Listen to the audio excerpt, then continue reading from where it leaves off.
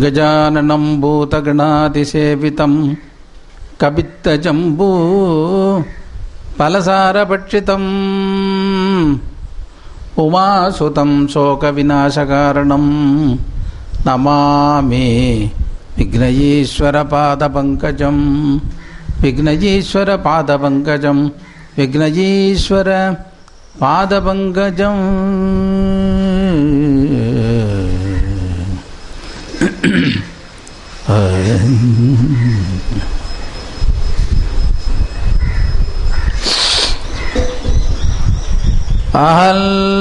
அஹல்லாஹம்மத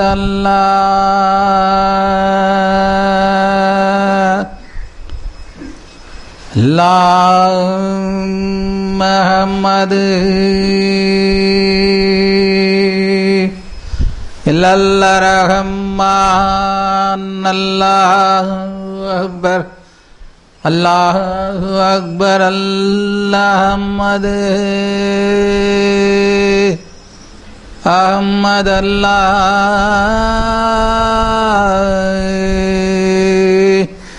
அல்லாஹம்மது அல்லாஹம்மது அல்ல ரஹ்மான் அல்லாஹு அக்பர் அல்லாஹ் இல்லல்ல ரஹ்மான் அல்லாஹு அக்பர் அல்லாஹ்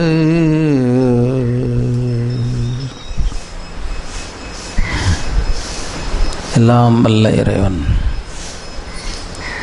ஆ, ந, ந, ந, ந, ஓ, ஆ,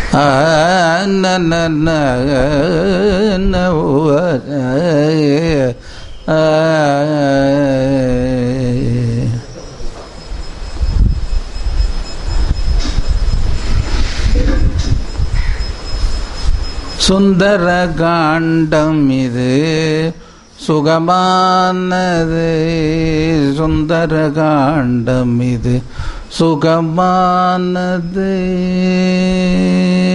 திருமகளை தரிசிப்பது. சுந்தர காண்டம் இது. சுகமானது. திருமகளை தரிசிப்பது. அசோகவனமதில் சீதையாரை கண்டுவிட்டது. அசோகவனமதில் சீதையாரை கண்டுவிட்டது. ஆசோகவனம் இது சுந்தர காண்டம் இது கண்டது. அவர் ஆஞ்சநேய பகவான் கண்டது யாவர்?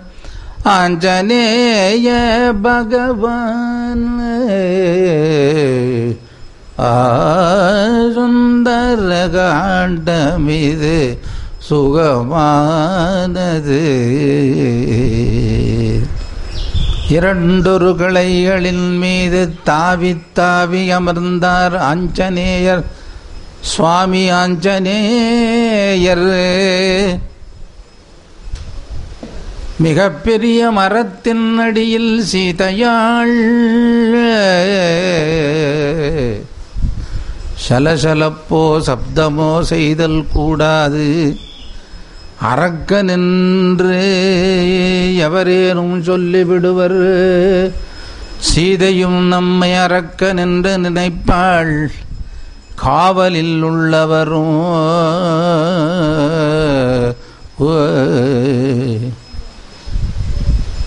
குரங்காகிய நம்மை அரக்கன் என்று நினைத்தாலும் நினைத்து விடுவார்களே காண்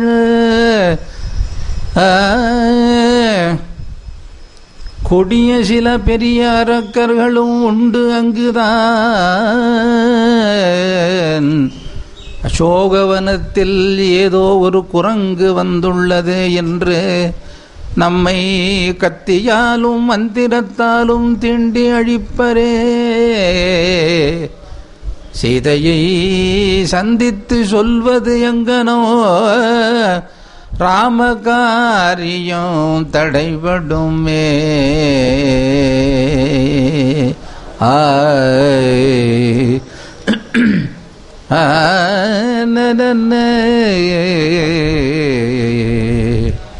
ஆதிமத்வ சம்பிரதாயத்தில் ஆதிகுரு ஒருவர் இருந்தார். ஆதிமத்வ சம்பிரதாயத்தில் ஆதிகுரு ஒருவர் இருந்தார். அவர் ஆஞ்சநேயரின் முன் தோன்றினார். மரத்தின் முன் ஒருவர் ஆகாயத்தில் இருவிரலை காட்டியபடி துவயம் துவயம் என்றார். ராம் ராம் என்று சொல்லு அதுவே துவயம் என்றார். ராம் ராம் என்று சொல்லு அதுவே துவயம் என்ற.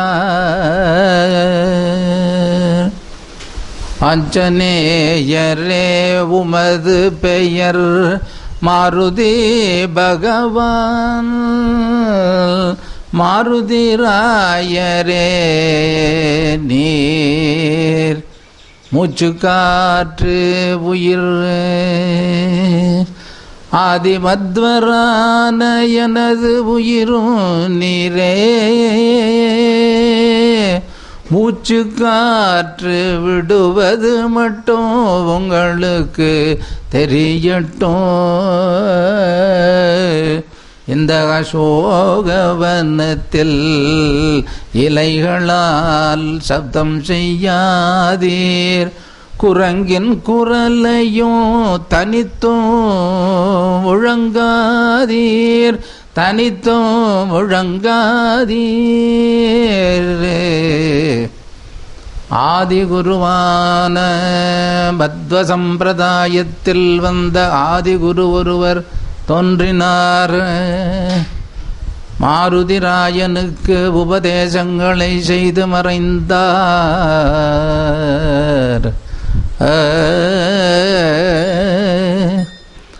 அந்த இடத்திலிருந்து விண்ணிலிருந்து மலர்கள் எல்லாம் அந்தரத்தில் தானே கீழே விழத் தொடங்கின காண்கான் ஆஞ்சநேயர் மந்திரஞ்சபித்ததோ மத்வராயரின் கால்களில் இருந்த மலர்களெல்லாம் ஆகாயத்தில் புஸ்வானத்தை போன்று பூப்புவாய் மறைந்தன.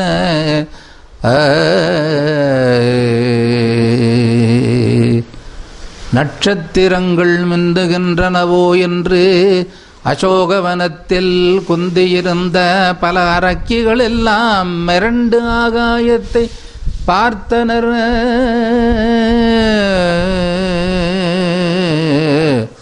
அப்பொழுதுதான் அரக்கியர்களின் முகத்தை எல்லாம் பார்த்தார். ஆஞ்சநேயர் இரவு நேரம் அது அழகே இல்லாத பெண்ணரக்கிகள் ஆறு லட்சம் அரக்கிகள். ஒவ்வொருவரின் சாமுத்ரிகா லட்சணமும் அவலட்சணம் அவலட்சணம். மற்றொரு புறத்தினில் ஆறு லட்சம் அழகில்லா அவலட்சண அரக்கிகள். அத்துணை பேரோ பெண்ணரக்கிகள் தான் தான் தான். மற்றொரு புறத்தினில் இரண்டு லட்சம் அரக்கர்கள். அனைவரும் லட்சண அவலட்சணங்கள் கலந்திருந்தன. வேண்டுமென்றே இப்படி கலந்து நிற்க வைத்திருந்தான் காவலில். அசோகவனத்தில் அரக்கிகளையும் அரக்கர்களையும் எங்குமே இணைந்து நிற்க கூடாது. பேசலாகாது. காதலும் ஊடலும் கிடையாது. சட்டம். ரவணேஸ்வரனுக்கு ராவணேஸ்வரனுக்கு தெரிந்தால் அழித்து விடுவானாம். இவர்களின் தலைவர்களாக பத்து பேரிருந்ததர்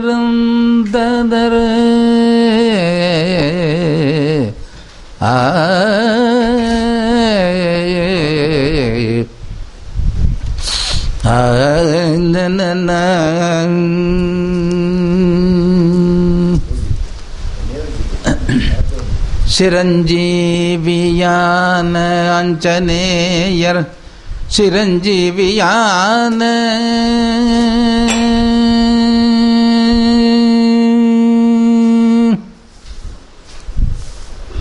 சிரஞ்சீவியான அகத்தியரை நினைத்தார்.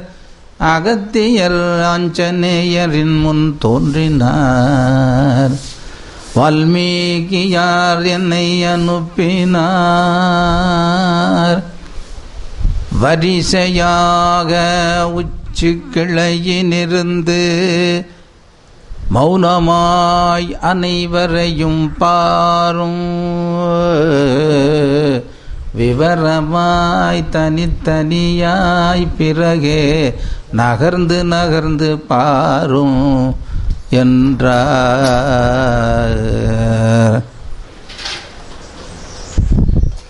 அகத்தியர் சொல்லி மறைந்தார் வானமண்டலத்தில்.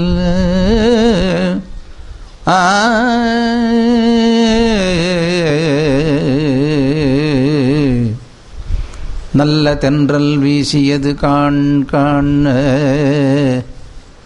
இரவு நேரம் லங்கை பட்டணத்தை கப்பிக்கொண்டது ஆனாலும்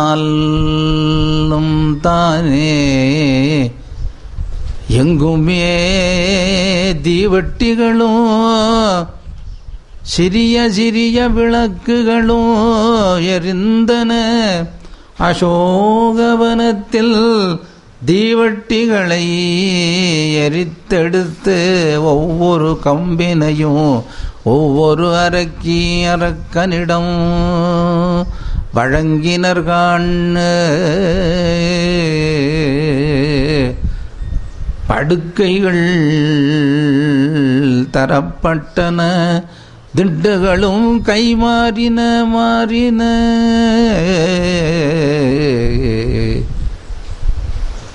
அசோகவனத்தில் மற்றொரு பக்கம் அக்கம் பக்கம் யாரும் இல்லை வரத்தின் மேலிருந்தே மற்றொரு மரம் தவினார் குட்டி ஆஞ்சநேய. சலனவின்றி மரம் விட்டு மரம் தாவுங்கால் தென்றலின் சப்தத்தோடு இணைந்து தாண்டுவார். அங்கு இருந்து சீதையை நன்கு அறிகின்றவரையே அவர் உடலின் சப்தம் வெளிவராது. ந,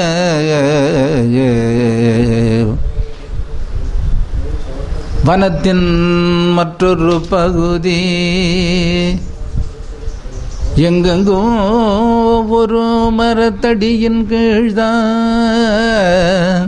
அரக்கர்கள் பல பல இடங்களில் அவ்வண்ணமே அரக்கிகள் பல பல இடங்களில். உலாவி வருகின்றவர்கள் சிலர் இந்த வண்ணம் உள்ள இடத்தை வேறொரு மரத்தின் மேலிருந்து பார்க்கலானார் பார்க்கலானார் பார்க்கலானார்.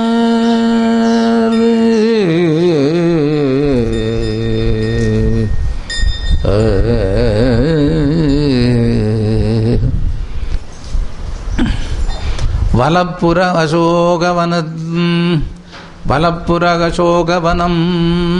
வால்மீகியார் உரைத்தபடி? நன்கு உரைத்தபடிதான்.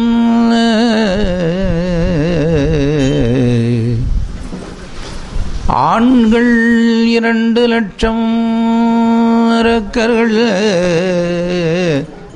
அனைவரும் இளைஞர்கள் மல்யுத்த வீரர்கள் தேகத்தின் கட்டு அருமையானது காண. சிலகரக்கர்களின் கட்டுடல் வெகு கருமையானது. மற்றையரது சிவந்த மேனியுடையது பிரிந்து பிரிந்து அமர்ந்திருந்த இந்த அரக்கர் கூட்டமெல்லாம் அழகர்களே கண்ணு.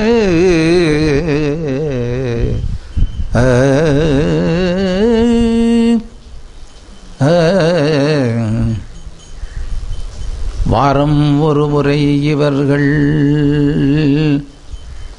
மலை நாட்டினரின் வசதிக்காக அங்கேயே மலை நாட்டவரின் தெய்வத்தினை வைத்து வணங்க வேண்டும். அரக்கர்கள் அனைவருக்கும் அந்த தலைவனே உபதேசம் செய்ய வேண்டும். அசோகவனம் ஒழுங்கிலிருந்து தப்பவே கூடாது என்றாணையிட்டான் லங்கேஸ்வரன்.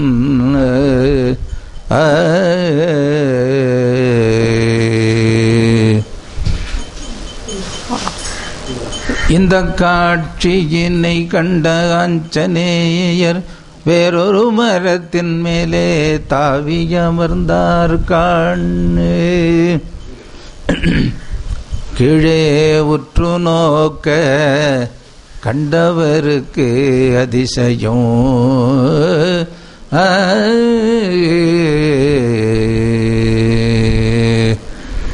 இந்திரலோகமோ குபேரனின் ராஜ்யமோ? ஆயிரம் ஆயிரம் விதவித வயதினில் மாந்தரார் மாதரார் என்றார். அனைவரும் அழகிகள் எழிலரசிகள். மன்னர் பரம்பரையினை சேர்ந்தவர்களும் இருந்தனரா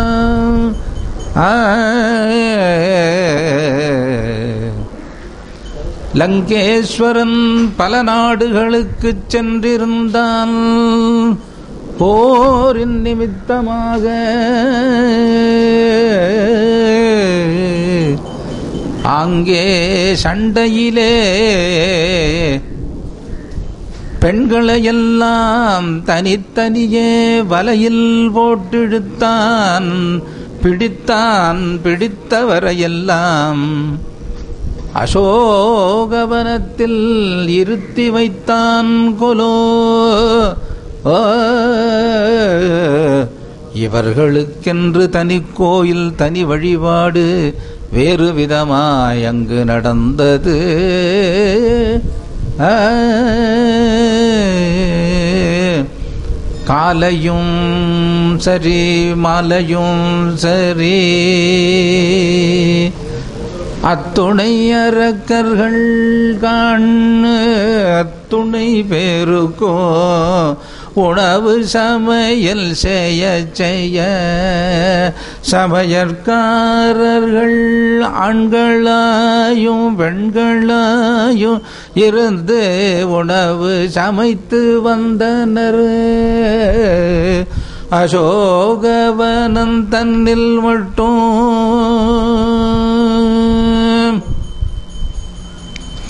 கறி சமையல் கிடையாது மாமிசம் கிடையாது. சுராபானமும் இல்லை இல்லை. ஆ, மரக்கறி சைவ உணவு மட்டும்தான் என்பது சட்டம். ஒரு நாள் இரவு முழுவதும் ஆஞ்சநேயர் மரத்தின் மேலேயே தங்கியிருந்தார் இருந்தார். கீழே அரக்கர் கூட்டத்தில் நடப்பதை அறிந்தார். அனைவருக்கும் உணவு வழங்கு முறை அனைவரும் சாப்பிடும் முறை. அவர்களின் ஒழுக்க முறை சீதையை காவல் செய்யும் முறை. அறிந்த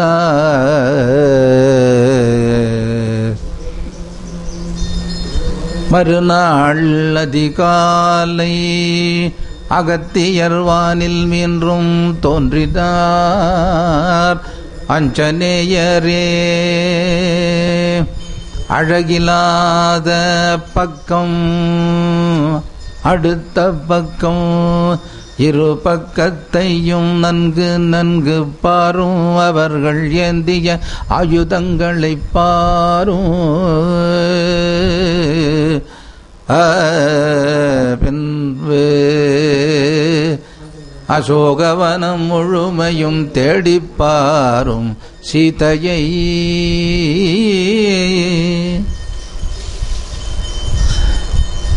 குருமுனிவன் சீதையை என்று ஒரு வார்த்தை சொல்லவே.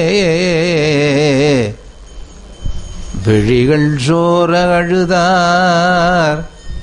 ஆஞ்சநேயருக்கு தெரிந்தது எவ்வளவு பெரிய கட்டுப்பாடு. கட்டுப்பாடுகள் எல்லாம் தெரிகின்றன நமக்கு. நாமோ மரத்தின் உச்சியிலே அமர்ந்திருக்கின்றோ சூரியனுக்கு தெரிவது போலல்லவா நமக்கு சீதை தெரிய வேண்டும். ஆ அந்த நல்ல சீதை அந்த நல்ல திருமகள் தெரியலையே தெரியலையே. சூரியனே நீர் நன்றாக பார்க்கின்றீர். ஆஹா தவறு செய்து விட்டேன். சூரியன் நுழையாத அடர்ந்த அசோகவனம் இதில் நீர் எப்படி நுழைந்து நுழைந்து வருவீர்? உம்மை விட பிரகாசகுமாயுள்ள அந்நியாரை நேர் எங்கனும் பார்ப்பேர் என்றார் அந்த ததன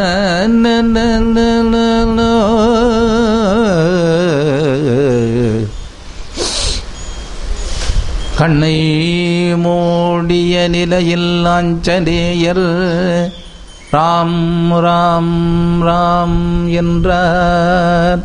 ராம் ராம் என்ற ராமத்தியானம் அது. சீதாராம் சீதாராம் என்றாகியது.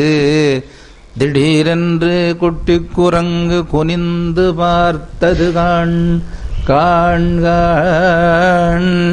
ஒரு மரத்தின் அடியிலே. அந்நியார் எழிலரசி சீதையை கண்ட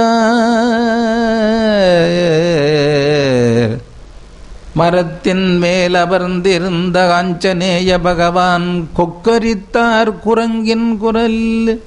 குரங்கின் குரலில் ஏதோ குரங்கொன்று மரத்தின் மேலே.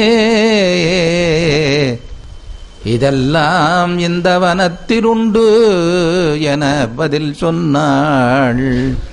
திரிசடையாள் சீதை இதுவும் ராவணனின் அறக்க வேலையாகும். அன்றோ ஆ என்றே தப்பிய காஞ்சனேயர் சிதையினை நன்கு பார்க்க இலைகளின் மத்தியில் மறைந்து பார்த்தார். பார்த்த காஞ்சனேயர் மனதில் பலமாய் சொன்னது பதித்தது மூளையில். பதிந்ததை சொல்லுகிறேன் கேளோ பிறகு அவர் அறக்கரை பார்ப்பதை நீங்களும் கேளுங்கள். அசோகவனமே சுந்தர காண்ட அதிசயப்பே ஆ மரத்தின் உச்சியில் இருந்த அஞ்சநேயர் சிறிய உருவம் மாருதிராயன். மனதினால் சொன்னான் மனதின் அரசன் அஞ்சனேயன் நினைத்தான். ராமதூதன் மனதினால் சொன்னான் ஆஹா தரையில் யானையின் தும்பிக்கையால் எடுத்து ஒரு தாமரை மலர் வீசப்பட்டது. கிடக்கிறது கிடக்கிறது. காலை சூரியனில் எப்பொழுதோ மலர்ந்திருக்கிறது அந்த தரைத்தாமரை தான் தரை தாமரை போன்று தாரகை சீதையே வணக்கம்.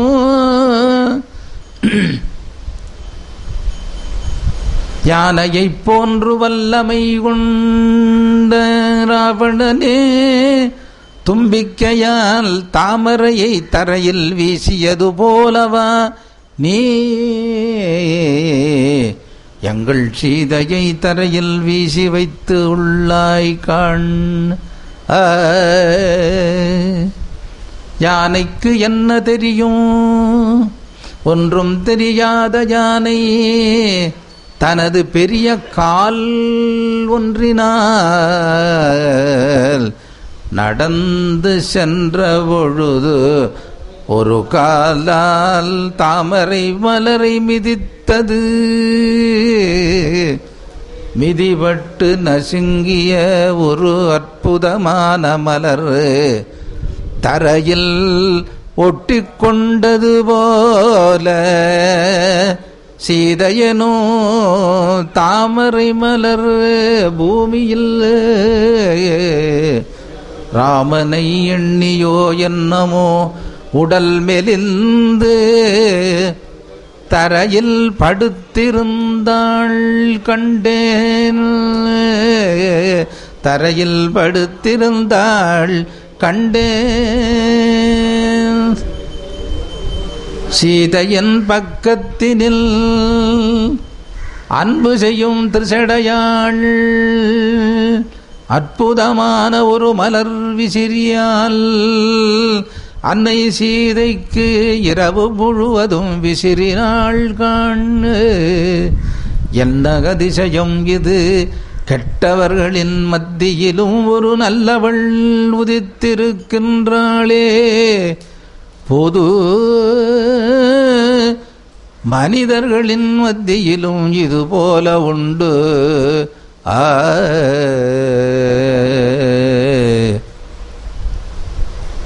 ஏ. ஆனையே. நாங்கள் கஜராஜனை யானை என்று கும்பிடுகின்றோம் தெரியுமா? கானகத்தில் உள்ள எத்தனையோ யானைகள் பக்தியில்லாதவை. பக்தியில்லாத யானைகளுக்கு மலர் என்றும் தாமரை கொடி என்றும் தெரியுமா? அறிவிலியானை தாமரை மலரை மிதித்தும் உள்ளது என்றார் அஞ்சனேயர் இதது போல எனது அன்பு சீதையார் அந்நியார் மெல்லியலாள் பூமியில் தூங்குகின்றனளே. மிதிலாபுரியில் தூங்க வேண்டிய மகாலட்சுமியார். அயோத்தியிலும் சில நாள் தானே படுக்கையில் படுத்து உறங்கினாள். மீதமுள்ள நாட்களிலெல்லாம் கானகத்தில் கழித்தாள். பொன்மானை நம்பி இன்று அசோகவனத்து தரையில் தூங்குகிறாள். விழிகள் இரண்டும் கண்ணீரில் சோர சோர பகவானவர் இவ்வளவு அழகிய பெண் மெலிந்து படுத்திருந்த பொழுதும் அழகே. இதற்காகத்தான் எனது தலைவன் ராமன். சுபாகுமாரீஜன் என்ற அரக்கர்களொடுதான் தான். பதினாயிரம் அரக்கர்களை சிறுவயதிலேயே அழித்தனோ என்றான். அந்த நிலையும் சரி இந்த நிலை சரியல்ல. இனி வருகின்ற நிலைதான் சரி. எந்த நிலையும் ராவணனே உனக்கு சரியல்ல சரியல்ல. ஆ, எனது நிறை மரத்தின் மேல் சரி. இனிதான் எனது பணி என்றார். ஆ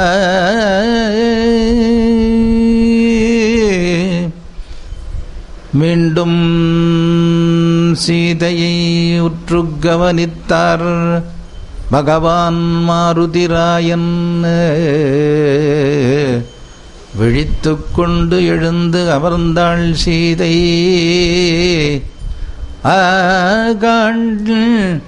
பார்த்த ஆஞ்சநேயர் அதிசயப்பட்டார். இளம் பெண்ணானவள் வெகு அழகாக பூங்குடி போல் அமர்ந்திருந்த கவலையால் வளைகளெல்லாம் கையிலிருந்து நழுவி தரையில் விழுந்திருந்தன.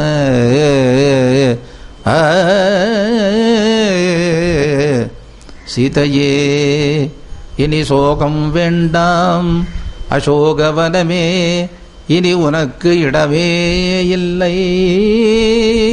சிரஞ்சீவி அஞ்சனேயன் சாபமிடுகிறான் கேள்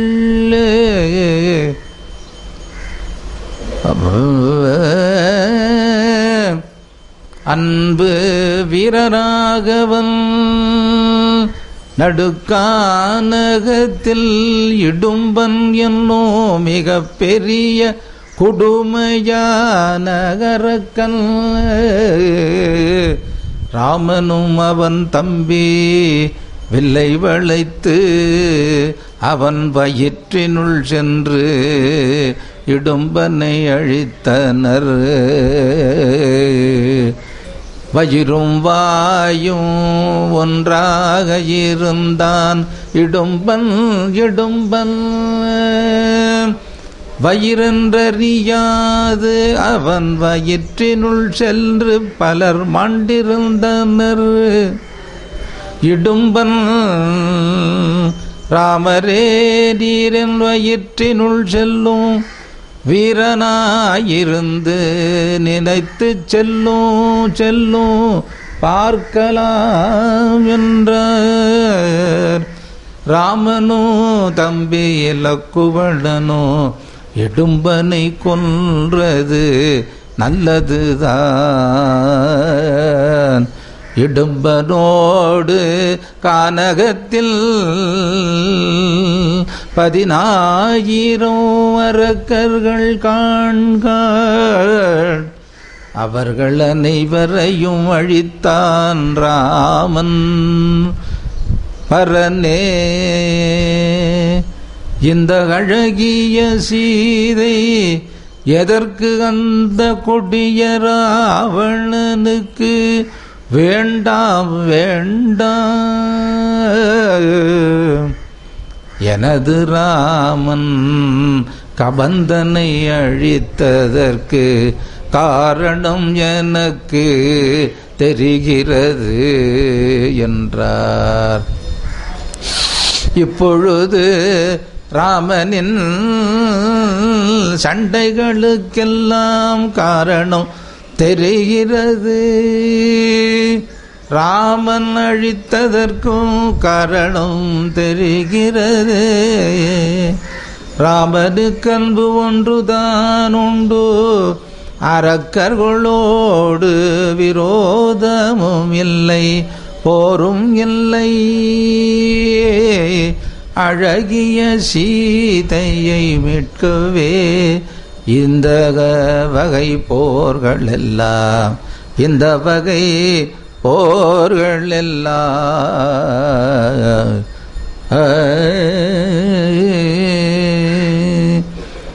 ஆ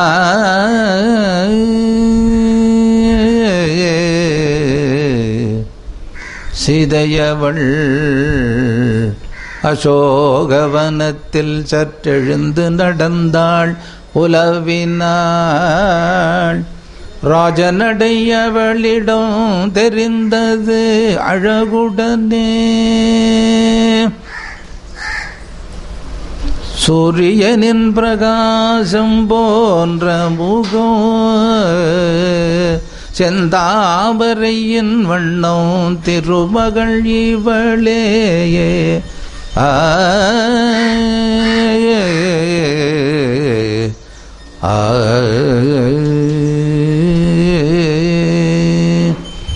செந்தாமரையின் முகம் அழுக்கு.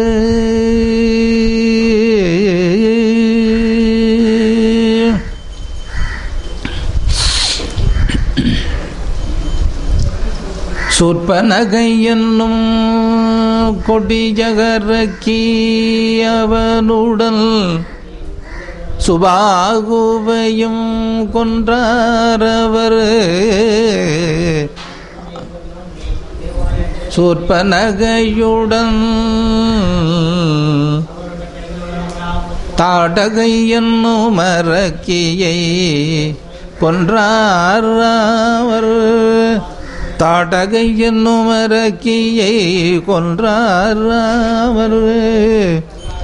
தாடகையை வதம் செய்யும் பொழுது பல கோடி அரக்கர்களையும் வென்றார். இப்பொழுதுதான் அது சரி என்றெனக்கு புரிகிறது. எல்லாம் ராவனுக்கு விரோதமே அல்ல. அழகிய சீதையாள் இவள் அவளை மீட்கவே வீரராகவன். தனது வில்லிற்கு பலமுறை வேலைகளை தந்தான். பலமுறை வேலைகளை தந்தான். இந்த சீதையை இந்த வண்ணம் கண்டு இந்த வண்ணம் நியாயங்களை சொல்லி மகிழ்ந்தார்.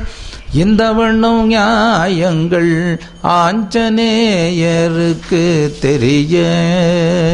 அந்த வண்ண நியாயங்களை எல்லாம் பல பல ராமாயண காதைகளில் அனைவரும் அறிவாரே.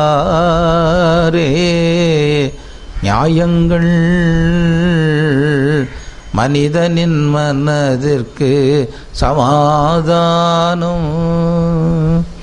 நியாயங்கள் காவியங்கள் அழியாமல் இருப்பதற்கு சமாதானம். நியாயங்கள் எழுத்தாளர்களின் பெருமையே. புலவர்களின் நியாயங்களே புராண நியாயங்களின் இடையினில் சொல்ல புராண நியாயங்களின் இடையினில் சொல்ல. பக்ததாஞ்சநேயர் அசோகவனத்தில் நியாயங்களை எண்ணினார். நியாயங்களை எண்ணினார். மறுநாள் வந்தது. அசோகவனத்தில் இரவு நேரமும் முகிழ்ந்தது.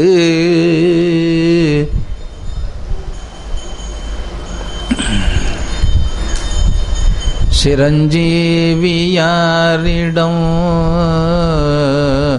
அகஸ்தியர் தோன்றினார்.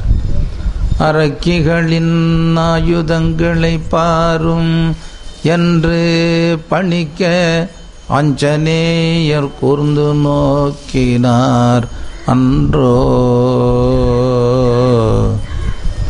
முக்கிலாத ஒரு அரக்கி முகமெலாம் கோரமாயுள்ள ஒரு அரக்கி காலிரண்டும் பெருத்துள்ள மற்றொரு அரக்கி இவ்வண்ணம் எழில் எந்த வண்ணம் கெட்டிருக்க வேண்டுமோ அவ்வண்ணமே. அவரவர்களின் கைகளிலெல்லாம் வளைந்த கத்தி கூர்மையான கத்தி ஈட்டி வேல்கள் இருந்தன. முகங்களிலெல்லாம் கடுமையும் தேகத்தில் உறுதியும் தெரிந்தன காண் இது வண்ணமே ஆண்களிலும் அரக்கர்கள் இருந்தனர் காண்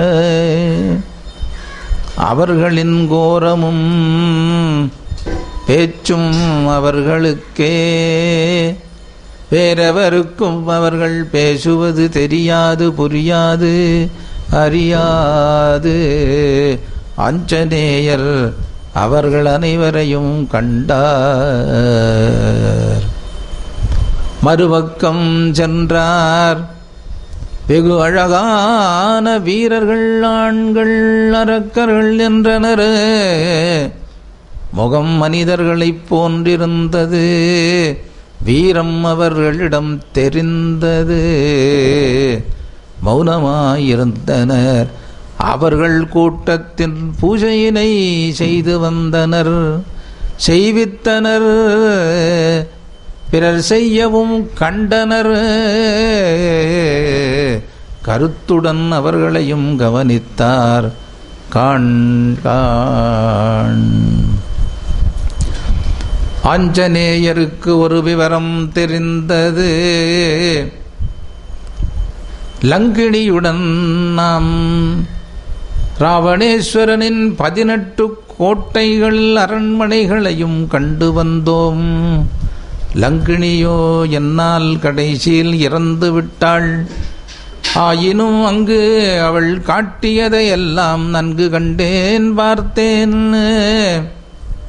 ராவணேஸ்வரன் ராவணேஸ்வரன் சாபம் என்பது ஒன்றினால் தான் சும்மா இருக்கிறான் என்று தெரிந்தது. ராவணேஸ்வரனை பலர் கலையில் வல்லவன் என்று சொல்லுகின்றனர் கலைவல்லான் என்றும் பேசுகின்றனர். ராவணனை பலர் காவி என்றும் அழைக்கின்றனர். லங்கினி சொன்னபடி பல நாட்டு இளம் பெண்மணிகள் பதினெட்டு கோட்டைகளிலும் பலர் உலவி வந்தனர். இரவில் அவர்கள் தூங்கும் பொழுது ராவணேஸ்வரன் நடந்து செல்வதையும் லங்கிணி காட்டினாள்.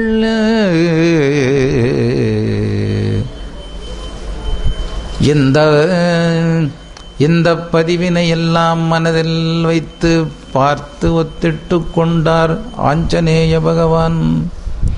பிரம்மச்சரியமே அவருடைய வீரம். சத்தியமாய் நான் நேருக்கு நேர் ராவணனை வென்று விடுவேன். இது முதலும் முடிவும் ஆகும். அந்த அரண்மனைகளில் உள்ளதைப் போன்று அசோகவனத்திலும் ஒரு புறத்தில் மட்டும் அரசன். பல நாட்டு வீரர்கள் அழகன் என்ற முலையில் பலரை ஆயுதங்களுடன் வைத்திருந்தான். அவ்வண்ணமே பல நாட்டு பெண்களையும் அழகிகளையும் அங்கு காவலில் நிறுத்தி இருந்தான் குலோகான். இதை அவரும் தவறாக சொல்லவில்லை. சீதை கொடூர ரூபத்தை கண்டு மட்டும் பயப்படுவாள். சீதையார் சிறிதேனும் பயம் தெளியட்டும். மனம் ஒடுங்கவே பயம் இருக்கட்டும். பயம் போய்விடட்டும். அதற்காகவே என் தம்பி விபீஷணனின் மகளும் அங்கு இருக்கட்டும். ஆ, ராவணேஸ்வரன் எந்த வண்ணம் எண்ணியதனால்? இலங்காபுரியில் அசோகவனமதில் தான். மில்லியலால் சீதை திருமகளின் அருகில் திருஷடையாள் என்னும் விபீஷணனின் மகள் இருந்தாள். விபீஷணனின் மகள் திரிசடையாள் நற்குணம் கொண்ட அழகியாள். கம்பரும் பாராட்டும் மெல்லியலாள் இவள். ராவணனின் எண்ணப்படி சீதையன் அருகிருந்து பார்த்தாலுமே ராமனுக்கே உதவி செய்ய சீதையை தேற்றினாள். திரிசடையாள் அசோகவனத்தில் இருந்ததனால் தான் தான் சிறையிருந்தவளின் ஏற்றம் அழகாகவே இருந்தது. சிறையிருந்தவளின் ஏற்றம் அழகாகவே இருந்தது. வெள்ளியலாள் சீதை அசோகவனத்தில் சோகமில்லாத வனமாம் அது. அதனால் தான் அதற்கு அசோகவனம் என்று பெயர். அஞ்சனேய பகவான் இந்த வண்ணம் அனைத்தையும் அற்புதமாக பார்த்தார் தெரிந்து கொண்டார் கொலோ. இலங்கை பட்டணம் முழுவதையும் அறிந்தார் காண்கொலோ. மரத்தின் உயர இருந்தே மூன்று இரவுகளை கழித்தார். சீதையின் பெருமையெல்லாம் அறிந்தார் கொலோ. சிறையிருந்தாளை எப்படி சந்திக்கப் போகிறார் என்பதை அறியவும் அறியவும். श्रीरामचन्द्र श्रितपारिजातग श्रीरामचन्द्र श्रितपारिजातग समस्तकल्याणगुणाभि रामग श्रीराम चन्द्र श्रितवारिजातग समस्त कल्याण गुण वीराम श्रीतामु कामु கோதி சஞ்சரீகக நிரந்தரம் மங்களம் ஆதனோத்து ஆதனோத்து ओम महाविष्णुस्वामिने नम, सकलाराधनं समर्पणम्। ओम गरुडराजाय नम, आञ्जनेय स्वामिने नम। कनकवल्लीनायिकायै नमः महाविष्णुस्वामिने नमः, सकलाराधनं समर्पणं हरि ओं ब्रह्मार्पणमस्तु। गोष्ठमोत्तकृष्णपते नम, सकलाराधनं समर्पण श्रीधराय नम, पद्मनाभाय नमः। அச்சலம் சமர்ப்பயாமி ஓடும் புள்ளேரி சூடும் தன்துளாய் நாடும் அவன் திருக்கடல்கள் இரண்டும் தேடும். என் மனதினுள் இருந்தவாறு இருந்தவாறு இருந்தவாறு பல்லாண்டு சமர்ப்பணம் சாற்றுமுறை சமர்ப்பணம் அறிவோம் பிரம்மார்ப்பணமஸ்து பச்சைமாமலை போல்மேனி பவளவாய் கமலச்சங்கன் நச்சுதா கமரநேரே ஆயிரதம் குழுந்தே. என்னும் மிச்சமை தவிர யான் போய்ந்தரலோகமாலும் அச்சுவை பெறணும் வேண்டேன். அரங்கமா நகருளானே ஓம் மகாகணபதி சுவாமி நேனுவா மகா சுப்பிரமணிய சுவாமி நேனுவா शिवायै नमः, शिवालय गोष्ठमूर्त सकलदेवतायै नमः, शिवालय सकलदेवताभ्यो नमः, सकलदेवतायै नमः, सकलाराधनं समर्पणमरि ओं ब्रह्मार्पणमस्तु, महादेव्यै च नमः। शिवगामी समेत सच्चवेद स्वामिने नमः महानन्दिकेश्वर स्वामिने नमः, बलिपीठं, ध्वजदण्डं, सकलाराधनं समर्पणमरि ओं ब्रह्मार्पणमस्तु, महाविष्णुदेवालये सकलदेवताभ्यो नमः, सकलाराधनं समर्पणम् आदिदेवताभ्यो नमः। சனைஸ்வர கிரகாயை நம நவகிரக மண்டல தேவதாபியோ நம காலபைரவ சுவாமினே நம சூரியநாராயண சூரியநாராயண சுவாமினே நம சந்திர சுவாமினே நம மகா பிரத்யங்கரா தேவியை நம மகா சண்டிகேஸ்வர சுவாமினே நம சகலாராதனம் சமர்ப்பணம் ஹரி ஓம் பிரம்மார்ப்பணமஸ்து அஷ்டதிக்பலகாய சகலாராதனம் சமர்ப்பணம் ஹரி ஓம் வடலூர் ராமலிங்க வள்ளலார் திருவடிகளே சரணம். அருட்பெருஞ்சோதி அருட்பெருஞ்சோதி அருட்பெருஞ்சோதி. தனிப்பெருங்கருணை தனிப்பெருங்கருணை தனிப்பெருங்கருணை தனிப்பெருங்கருணை. அருட்பெருஞ்சோதி அருட்பெருஞ்சோதி. அட்டமா சித்திகள் அனைதரும் காலத்தீ அஷ்டமா சித்திகள் அனைதரும் காலத்தீ. அட்டமா உடல் தன்னில் எங்கு? அட்டமா உடல் தன்னில் எங்கு? அறுவகை நிலை கொண்ட சிவநிலையே அறுவகை நிலை கொண்ட சிவநிலையே. எக்கணும் எக்கணமோ எங்கிலோ உலவிடுவார். உவப்புடனே உலவிடுவார். உவப்புடனே சிவந்த நீரும் மேனி கொண்டார் சிவந்த நீரும் மேனி கொண்டார்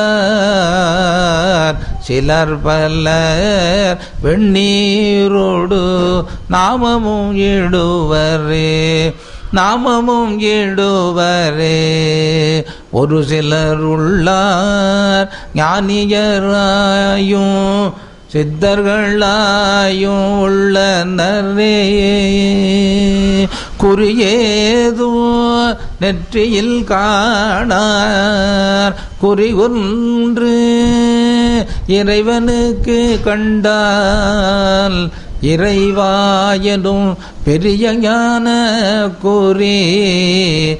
தடையிலாது வருமே என்பார். தடையிலாது வருமே என்பார்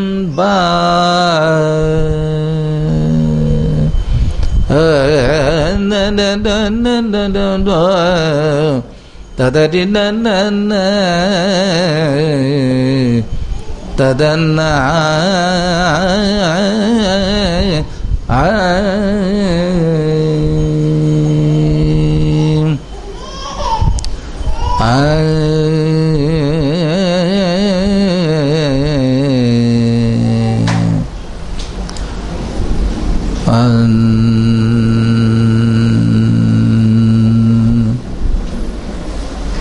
நட்டு வைத்த கல்லை நட்டு வைத்த கல்லை நாலு புஷ்பம் சாத்தியே. சுற்றி சுற்றி முட முணக்கும் சொல்லு பந்திரம் ஏதட. நட்டு வைத்த கல்லை நாலு புஷ்பம் சாத்தியே. சுற்றி சுற்றி முண முணக்கும் சொல்லு மந்திரம் ஏதட நட்டு வைத்த கல்லும் பேசுமோ அது நாதனுள்ளிருக்கையில். நட்டு வைத்த கல் பேசுமோ அது நாதனுள்ளிருக்கையில். சுட்ட சட்டி சட்டுவம் கரிச்சுவை அறியுமோ சுட்ட சட்டி சட்டுவம் கரிச்சுவை அறியுமோ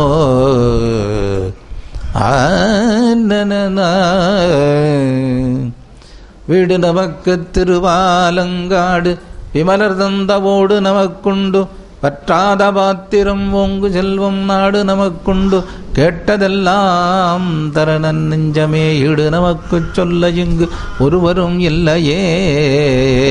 ஆ வையம் தகளியாக வார்கடல் நெய்யாக வெய்ய கதிரோன் விளக்காக ஆர்வமதுவே திரியாக நான் ஏற்றினேன் ஓர் விளக்கு அந்த நாரணர்க்கு அந்த நாரணர்க்கு. பதினெண் சித்தர்கள் திருவடிகளே சரணம். வடலூர் ராமலிங்க வள்ளலார் திருவடிகளே சரணம். அருட்பெருஞ்சோதி அருட்பெருஞ்சோதி அருட்பெருஞ்சோதி. தனிப்பெருங்கருணை தனிப்பெருங்கருணை தனிப்பெருங்கருணை அருட்பெருஞ்சோதி. அருட்பெருஞ்சோதி அருட்பெருஞ்சோதி.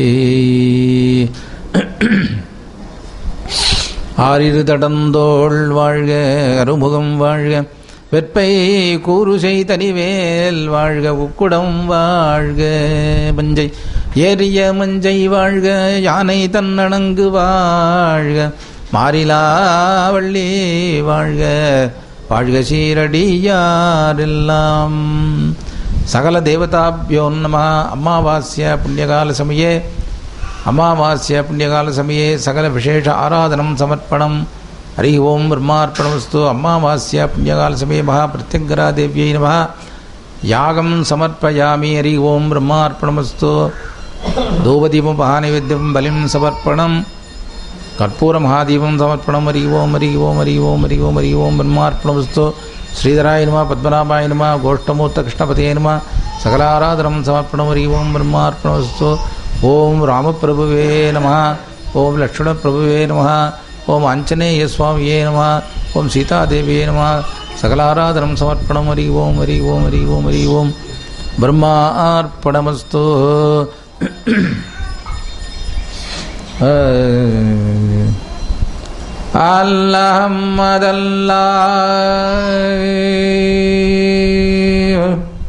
அல்லாஹம்மதல்லா இல்லல்ல ரஹ்மான் அல்லா அக்பர் அல்லா அம்மஹம்மது இல்லல்ல ரஹ்மான் அல்லா அக்பர். லல்ல ரகுமான் அல்லாஹ் நம பார்வதி பதையே. ஹர மகாதேவா. சர்வத்திர கோவிந்த. நாம சங்கீர்த்தனம் கோவிந்தா. கோவிந்தா.